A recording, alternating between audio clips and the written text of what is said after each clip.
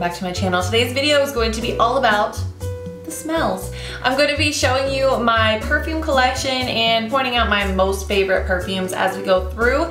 This is definitely going to be a fragrance collection for the people because I don't consider myself a perfume connoisseur by any means. Half the fun of this video is going to be listening to me try to describe these fragrances. I feel like this is like embarrassing to say being part of the YouTube beauty community. I never really wore perfume that often before.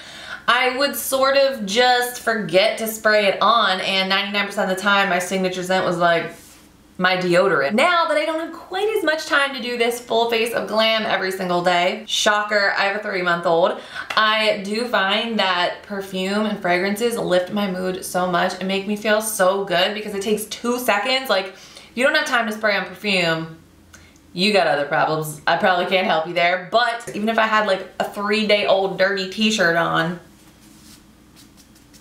and I'm covered in baby spit up, I still smell good and that makes me feel good. So I've been getting so much more into fragrances lately. This video is brought to you by Scentbird. I will forever be in debt to Scentbird because they introduced me to my most favorite fragrance of the moment. I am obsessed with it. We'll get into that in a minute, but let's get started. Make sure you're subscribed and give this video a thumbs up. And why don't we jump on in? The first perfume that I pulled from my collection to show you guys is honestly a classic for me. I have loved this for a very long time and I can't see myself ever not loving this perfume. This is Viktor and Rolf Flowerbomb. Viktor and Rolf? Victor and Ralph? No. I also have this one here. I'm gonna be honest, I don't know what this is. I have it in my collection. It says Flowerbomb. it was probably some kind of a limited edition release at some point. It kind of smells the same as this one, so I have that too. So this one online is described as a floral explosion. Normally I don't like super flowery, intense, like bouquet of flowers smelling perfumes. Here we go, my descriptions. Spot on. But there's something about this one to me, it is so warm. It is like a warm hug. It just wraps you in a blanket. I feel like I can wear this all winter long and I physically feel warmer in my body. I feel like when I smell this, I really pick up on the amber and the vanilla notes and I just feel like it's super sensual. So I will probably love this one forever. Okay guys, so like I mentioned before, my next perfume, which is currently just whew, taken over taken over my life. I love this one.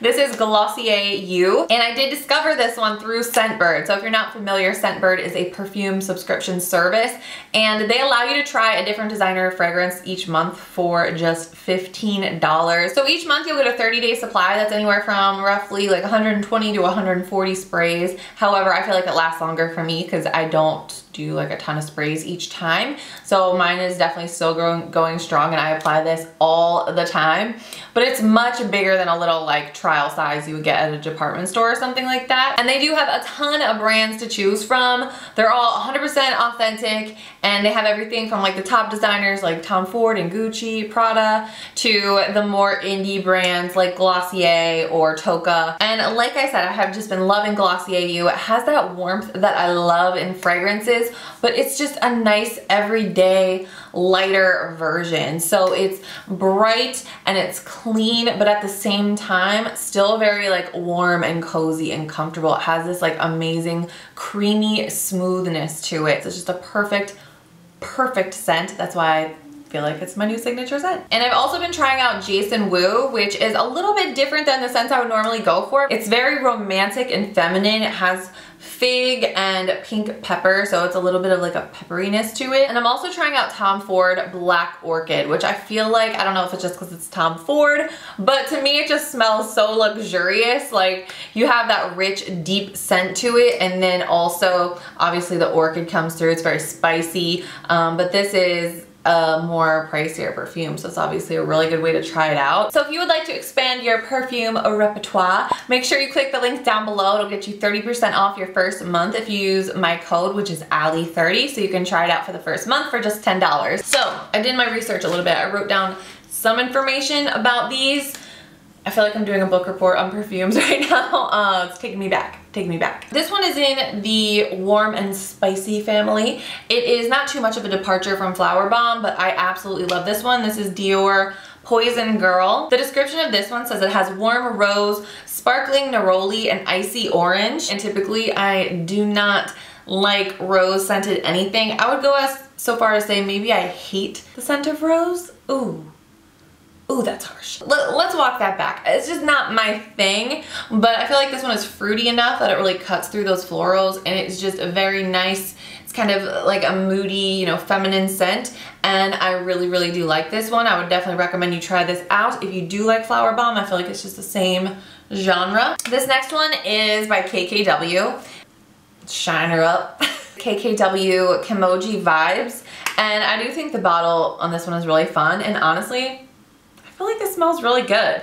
It has a nice like feminine aspect to it. There's definitely a lot going on. It's like a lighter, modern, more playful fragrance, I feel like. It says it has bergamot or bergamot, not exactly sure to say that, watery melon, pineapple, apple blossom, peony, cedarwood, amber, and musk. I don't know if it's just me, but that kind of seems like every type of note you could have like thrown into one fragrance, but it's nice. It's a little strong when you first spray it on, but once it kind of settles in, I do really like the way that this smells. Okay guys, so stay with me on this next one here. This is definitely going to be the most pricey of all the products I'm talking about, I think.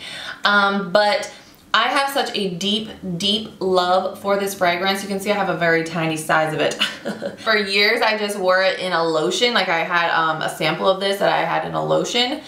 And it took me a very long time to work up to actually buying it and I was gonna buy it, but then my mom got it for me, so it was a gift. It was nice. But this is the most unique fragrance. I feel like this is one of those that you either love it or you hate it, and I love it. I love it deeply. Um, this is Santal 33 by Le Labo, and the description of this online is actually hilarious. Like I have to read the description to you guys. It says, this is a unisex fragrance by the way. It is a fragrance that captures a defining image of the spirit of the American West and personal freedom. What? The man, firelight in his face, leaning on the worn leather saddle, alone with the desert wind. I never got that from this. This is such a rich, like deeply, deeply layered fragrance. I always picture just like a magical forest that was dark but happy. There were dancing fairies over here, like glittery mushrooms over there, FernGully pretty much. It just smells so incredibly mysterious. I did not get Westworld from this, but apparently that's what's inspired by. I can kind of see that now the leatheriness comes through. People are definitely going to say something when you wear this. I get a lot of compliments on this. I feel like it's also the longest lasting fragrance that I have. Ooh, has this been here the whole time? My apologies. All right, we're gonna lighten things up a little bit here with a body mist. This is by Sol de Janeiro. I believe they are the makers of the Bum Bum Creme. This is the Brazilian Crush body fragrance mist. And this I got this on a whim and I gotta say I love this. Mm. it is so summery without being obviously tropical. It doesn't smell like coconutty or anything like that. Don't get me wrong. I love coconut but it is supposed to be pistachio and salted caramel. However, it also doesn't smell too foody. Like it doesn't smell like a candle from Bath & Body Works. But I love that pistachio. Oh, that is so unique to me. When do you ever have like a body mist that smells like pistachio and caramel, caramel, caramel? It just smells really, really good. I honestly lived in this one. Uh, this past summer, but I do have to say that you could wear this all year round. Like it's not so specifically summertime oriented, but it does kind of give you those type of vibes. So I really, really love this one. And the next one is by MAC, and this is one of their Shadescents that they came out with a couple years ago. Each scent pairs with a different lipstick and this is Creme d'Nude. I did give away all of the other ones because I honestly wasn't a really big fan of all the other scents but I do like this one. I don't wear it very often and I honestly don't know why because it does smell very good. It is kind of hard to pinpoint. MAC says it is a scent capturing the vibrant sexiness of clean, radiant, glowing skin through a cocoon of velvet musk. But I would say it does smell very velvety, like it's very smooth type of scent. It does smell good. I'll give it that. I think I'm breaking out from all these perfumes. Sorry. And more recently, I did pick up this beauty. This is by YSL. I love the bottle. It just makes me feel so sophisticated. And this is Mon Paris. This is a great fragrance. It smells so nice. Very bright and sparkling. It's feminine, but it's not like too serious, you know? It has a lot of notes of like a berry and pear. I really pick up on the pear in this one and it smells so good. It has notes of strawberry, raspberry, the bergamot thing, pear, orange flower, jasmine, white peony, patchouli, white musk, cedarwood, and crystal moss. So it still has that sensuality going on for sure, but it is a bit lighter than the other like warmer, more sensual fragrances that I do have. And then Clinique did send along these My Happy fragrances not too long ago. There's a lot of different ones. They all come in different colored bottles.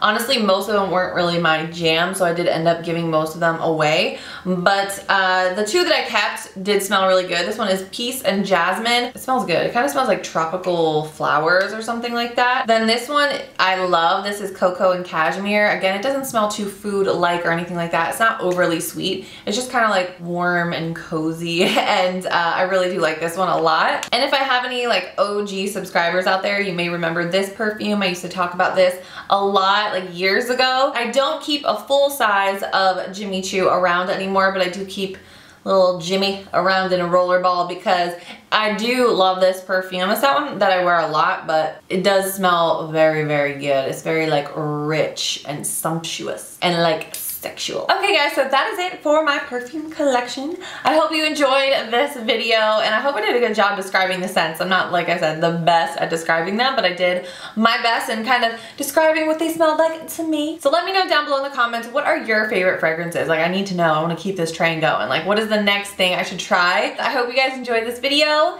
I love you guys so much and I'll see you very soon in my next one. Bye!